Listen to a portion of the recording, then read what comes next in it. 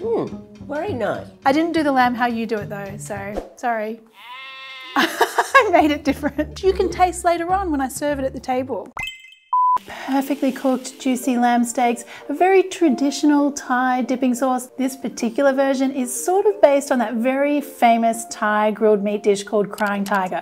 But I'll fill you in on why my family version is different later on. Let's do it, my friends. Let's make Crying Tiger lamb.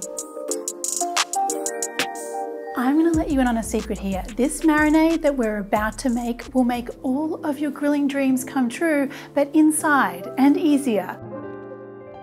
This marinade starts off with beautiful lamb steaks. Look at these guys. Okay, I love this cut because it is beautifully lean, but still really juicy and tender. And I'm gonna show you how you can cook this cut of meat perfectly indoors by using this marinade. So we start off with oyster sauce, a little bit of fish sauce here as well. Both of these ingredients are going to give us a salty umami flavor, but also the sugar content is going to help us get a really lovely caramelization really quickly in the pan before your smoke alarms go off. That's kind of what we want here. These lamb steaks don't need very long because the marinade is very intense. In fact, this entire meal can be done in less than 30 minutes, which is great. So I'm just gonna put this aside while I make my spicy sauce. The spicy sauce, also known as nam jim jaew, is made by lightly toasting some sticky rice in a pan. So this is raw glutinous rice, also known as sticky rice. You just want to toast it away on a medium heat until you get this really lovely golden dark color. It'll start to smell like popcorn too. That's when you know it's ready. Now put that into your mortar and use your pestle to grind it to a fine powder. The rest of the sauce is simply tamarind. Now I'm using tamarind puree here. Sometimes it's called tamarind concentrate, tamarind paste. Any of those things is fine here. You just need a tablespoon along with some fish sauce, some sugar, some Thai chili powder. Now this is kind of important here because you want the right texture and you don't want it to be too spicy. So Thai chili powder just has a little bit of the seeds. You can see little chunks of dried chili plus some powder here as well. Add some lime juice. For the shallots, I want a really nice fine wedge here and then throw those into the sauce as well. And some finely chopped coriander and then finally your toasted rice powder.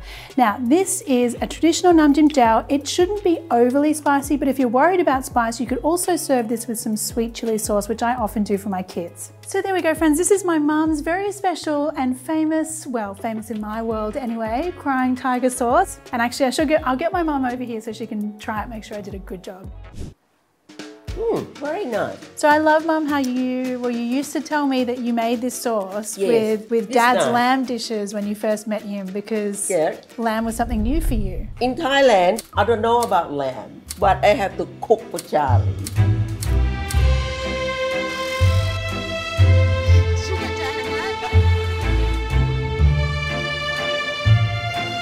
I make the sauce, nam jim jaew, to go with the lamb. Make the lamb taste very good. And Charlie like it. Lamb is my favorite now because Charlie want me to make his cookie lamb. Oh, that's good, Mum. I love that story. Yes. That's why I wanted to make this sauce today. All right, see ya. See you. So now we're going to cook the lamb. And I think for a lot of people, cooking nice thick pieces of meat like this can be a little daunting, but that's okay. I got you. So let's start off with a really hot pan, add a little bit of oil and then just use a paper towel to kind of brush it over the surface of the pan. That'll give us a nice even coating of oil. Now you can add your lamb steaks and because we have that really awesome marinade that's going to help us with the caramelization, this kind of beautiful charry kind of color is going to happen in literally two minutes. So two minutes later, flip those steaks over and oh my goodness, look at that. Ah, so good already. Again, you don't want to overdo it here. So just another two minutes. So four minutes in total in the pan. And then we want to finish off the cooking really gently in the oven. So I'm going to pop the whole pan into the oven for four or five minutes. Now this is for lamb steaks that are about three centimeters thick. If your lamb steaks are thinner, then you could just do a little bit less oven time. Well-rested meat is lovely and juicy all the way through and evenly cooked. I've had mine resting on the plate here for about five minutes and now we're ready to slice. Moment of truth. I love this part. Okay, let's take our piece of lamb. Ah, I mean, look at that. It's a thing of beauty. I love that. So perfectly cooked really beautifully rested meat, which means it's all kind of like juicy from top to bottom.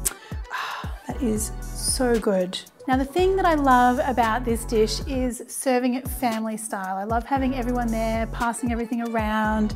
Uh, so I'm gonna pop my steaks over to the side here and then fill my board with a whole bunch of fresh things. So snow pea shoots. I mean, this is all optional. You could do cucumbers, you could do other fresh herbs, anything you like. Got some lovely lettuce here, got some green beans, some mint, and there you go, my friends. I mean, I just, this kind of lamb spread just makes me so happy and I love sharing it. So I'm gonna get this to the table. Goodbye.